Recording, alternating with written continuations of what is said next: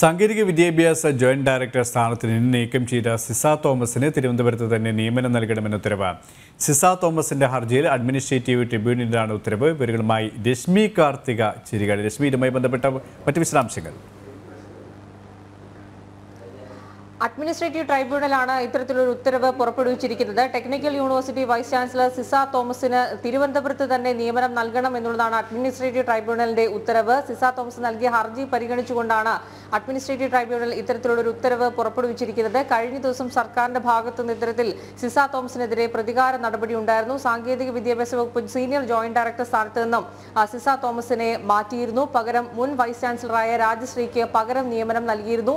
സിസ തോമസിനെ എവിടെയും നിയമിച്ചിരുന്നില്ല. ഈ ഒരു ഇത് ചൂണ്ടിക്കാണിച്ചുകൊണ്ടാണ് അഡ്മിനിസ്ട്രേറ്റീവ് ട്രൈബ്യൂണലിലെ സിസ തോമസ് സമീപിച്ചത്. ഗവർണർ ആരിഫ് മുഹമ്മദ് ഖാനാണ് ടെക്നിക്കൽ യൂണിവേഴ്സിറ്റി വൈസ് ചാൻസലറായി ഇത്തരത്തിൽ സിസ തോമസിനെ നിയമിക്കുന്നത്. അന്ന് മുതൽ തന്നെ സർക്കാരും സിസ തോമസും തമ്മിൽ പലതരത്തിലുള്ള അഭിപ്രായ ഭിന്നതകൾ നിലനിന്നിരുന്നു. മാത്രമല്ല ടെക്നിക്കൽ യൂണിവേഴ്സിറ്റിയിലെ പലതരത്തിലുള്ള ക്രമക്കേടുകൾ അതായത് സിൻഡിക്കേറ്റിന്റെ ഉൾപ്പെടെ ഈ പലതരത്തിലുള്ള ക്രമക്കേടുകൾ പുറത്തു കൊണ്ടുവന്നത് സിസ തോമസ് ആണ് ഇത് സിൻഡിക്കേറ്റും ബോർഡ് ഓഫ് ഗവർണൻസും ഒപ്പം തന്നെ സർക്കാരും ഒക്കെയായി ഇടയാനുണ്ടായ ഒരു സാഹചര്യം ഉണ്ടായിരുന്നു. മാത്രമല്ല ഈ സിസ തോമസിന് അതായത് ടെക്നിക്കൽ യൂണിവേഴ്സിറ്റി വൈസ് ചാൻസലർക്ക് മുകളിലായി ഒരു സമിതിയെ നിയോഗിക്കാൻ ഉൾപ്പെടെ സിൻഡിക്കേറ്റ് തീരുമാനമെടുത്തിരുന്നു. അതിനെ ഗവർണർ കഴിഞ്ഞ ദിവസം റദ്ദാക്കിയിരുന്നു. ഇതേ തുടർന്നാണ് സർക്കാർ ഈ സിസ തോമസിനെ സാങ്കേതിക വിദ്യാഭ്യാസ വകുപ്പ് സീനിയർ ജോയിന്റ് ഡയറക്ടർ സ്ഥാനത്ത് നിന്നും മാറ്റിയത്. അത്തരത്തിലുള്ള ഒരു പ്രതികാര നടപടി സ്വീകരിച്ചിരിക്കുന്നത് ഇപ്പോൾ സർക്കാരിന് വീണ്ടും തിരിച്ചടി നൽകിക്കൊണ്ടാണ് അഡ്മിനിസ്ട്രേറ്റീവ് ട്രൈബ്യൂണൽ ഇത്തരത്തിലുള്ള ഉത്തരവ് പുറപ്പെടുവിച്ചിരിക്കുന്നത്. അതായത് തിരുവനന്തപുരത്ത് തന്നെ നിയമനം നൽകണം എന്നുള്ളതാണ് ട്രൈബ്യൂണലിന്റെ ഉത്തരവ്.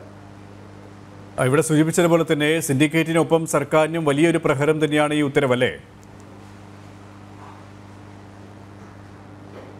തീർച്ചയായും അത്തരത്തിൽ തന്നെ പറയാം. കാരണം ഇത്തരത്തിൽ ടെക്നിക്കൽ യൂണിവേഴ്സിറ്റി വൈസ് ചാൻസലർ സ്ഥാനത്തേക്ക് ഗവർണറാണ് സിസ തോമസിനെ കൊണ്ടുവരുന്നത്. അന്ന് മുതൽ തന്നെ ഈ ചോദ്യ പേപ്പറുകളുമായി ബന്ധപ്പെട്ട് സർട്ടിഫിക്കറ്റ് വിതരണവുമായി ബന്ധപ്പെട്ട് വ്യാപകമായി ക്രമക്കേടുകൾ സിസ തോമസ് കണ്ടെത്തുകയും അത് പുറത്തു കൊണ്ടുവരികയും ഒക്കെ തന്നെ ചെയ്തിരുന്നു. ഇത് ഇത്തരത്തിൽ ഈ സിൻഡിക്കേറ്റിനെയും ബോർഡ് ഓഫ് ഗവർണൻസിനും ഒക്കെ അതൃപ്തി ഇക്കാര്യത്തിൽ ഉണ്ടാകുന്ന ഒരു സാഹചര്യം ഉണ്ടായി സർക്കാരിനും അതിൽ അതൃപ്തി ഉണ്ടായിരുന്നു. ഈ നിലപാടിനെ അതായത് സിസ തോമസ് വൈസ് ചാൻസലർ സ്ഥാനത്തേക്ക് ഗവർണർ കൊണ്ടുവന്നതിനെ സർക്കാരും എതിർക്കുന്ന ഒരു സാഹചര്യമായിരുന്നു നിലനിന്നിരുന്നത്. തുടർന്ന് സർക്കാരാണ് ഹൈക്കോടതിയെ സമീപിച്ചതും. ഹൈക്കോടതി പക്ഷേ ആ സ്ഥാനത്ത് തുടരാം എന്നുള്ളത് തന്നെയായിരുന്നു പറഞ്ഞിരുന്നത്. ഏതായാലും ഇതേ തുടർന്ന് അതായത് ക്രമക്കേടുകൾ ഉൾപ്പെടെ പുറത്തു കൊണ്ടുവരികയും സിൻഡിക്കേറ്റിനും ബോർഡ് ഓഫ് ഗവർണൻസിനും എതിരെ ഗവർണർക്ക് കത്ത് നൽകുന്ന ഒരു സാഹചര്യമൊക്കെ ഉണ്ടായിരുന്നു. ഇതിന്റെ ഒരു പ്രതികാര നടപടിയാണ് കഴിഞ്ഞ ദിവസം സർക്കാർ സ്വീകരിച്ചത്. അതായത് മാത്രമല്ല മുൻ വൈസ് ചാൻസലർ രാജശ്രീയെ ആ സ്ഥാനത്തേക്ക് കൊണ്ടുവരിക കൂടി ചെയ്തു. ഈ സുപ്രീം കോടതിയുടെ ഉത്തരവിനെ തുടർന്നാണ് ഇത്തരത്തിൽ അയോഗ്യതയെ തുടർന്നാണ് ടെക്നിക്കൽ യൂണിവേഴ്സിറ്റി വൈസ് ചാൻസലറായ രാജശ്രീ